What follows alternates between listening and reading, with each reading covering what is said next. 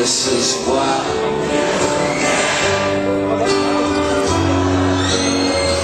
This is what you get when you're mad.